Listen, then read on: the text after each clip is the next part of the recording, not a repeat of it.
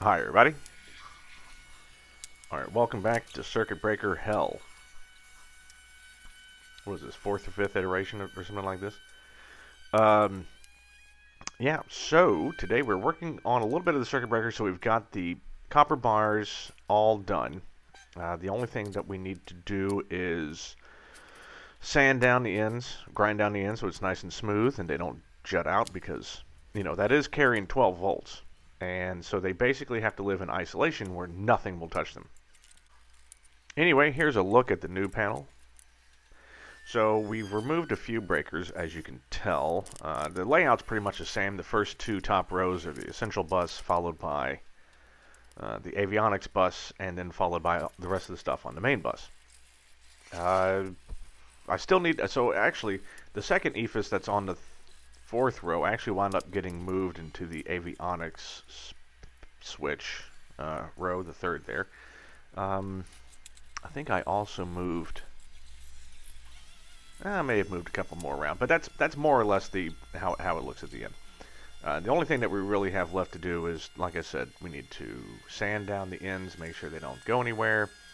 Um, I've had to make a new jumper, as you can see, I've put on so that all the rows in the main bus get the same 12 volts.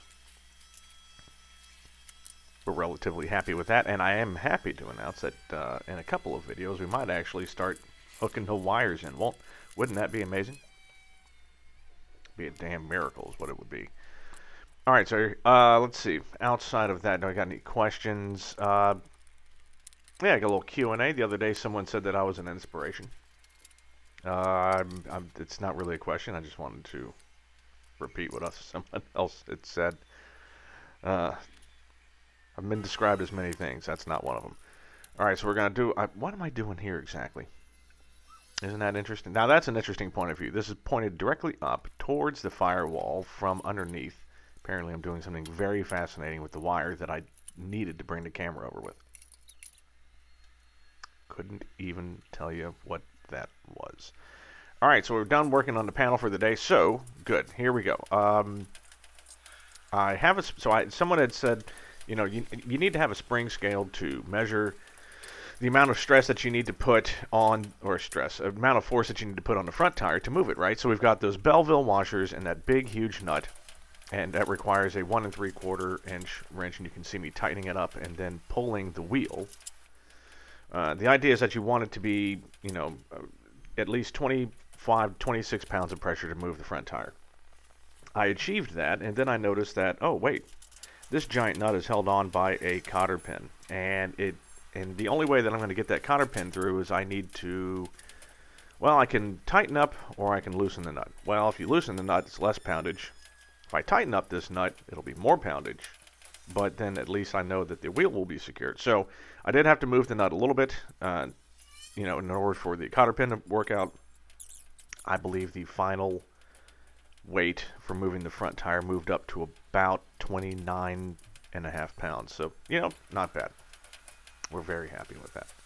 Now we're going to put the buckets back on. People have been, a couple people did ask, you know, how, how do those buckets secure? Well, those tent stakes actually came with some straps. They weren't tent stakes. First of all, apologize for that. They're actually trampoline stakes, even though I, I couldn't tell you the difference. And so they came with their own straps. So I just looped the strap up about five times a piece, and that's more than enough to hang that those 75 pound buckets. So each right each layer of the strap is holding 15 pounds, and that's not bad. Okay, now that we've got the circuit breaker more or less where we want it, um, it's time to actually hop into the plane and start wiring this thing up, I believe. Uh, that's why I'm putting the brackets on, and I think a seat back's coming yeah, this is good. So in the next videos, uh, we're going to start working on actually getting the circuit breaker panel wired in.